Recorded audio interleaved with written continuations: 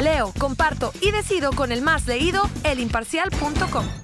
Un grupo de alrededor de 50 maestros de la Coordinadora Nacional de Trabajadores de la Educación, la CENTE, tomaron por segunda vez la caseta de peaje Hermosillo Nogales, número 152, y dieron paso libre al flujo vehicular.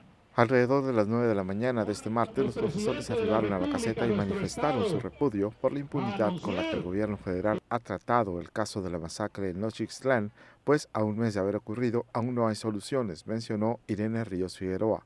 El vocero de la Asamblea Magisterial de Sonora reiteró las demandas de los magisterios disidentes de decenas de entidades del país, a saber, la abrogación de la reforma educativa, la reinstalación de maestros cesados, la liberación de presos políticos y el retiro de órdenes de arresto contra profesores que hacen manifestaciones pacíficas. Sobre la demanda que la Secretaría de Comunicaciones y Transportes interpondría por el daño patrimonial que deja la interrupción del cobro en las casetas, repuso que el propio gobierno federal ya acaba de dar cátedra de cómo resolver las violaciones a la ley. Acompañados de representantes de los sindicatos de trabajadores académicos y empleados de la Universidad de Sonora y de los telefonistas, apoyaron en la manifestación donde se estuvo pidiendo cooperación voluntaria a los automovilistas para un fondo de resistencia que se utiliza para apoyar en los gastos de las movilizaciones. A las 11 de la mañana, el contingente se retiró.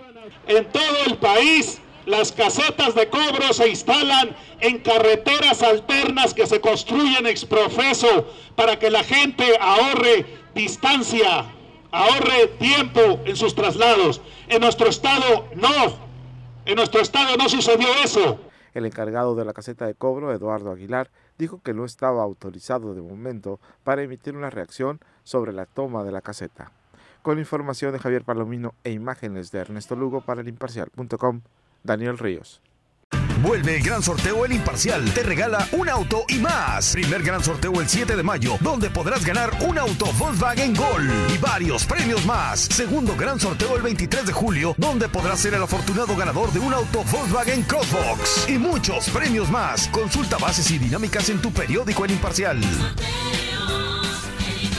Permiso de Gobernación 2016 0089 PS09.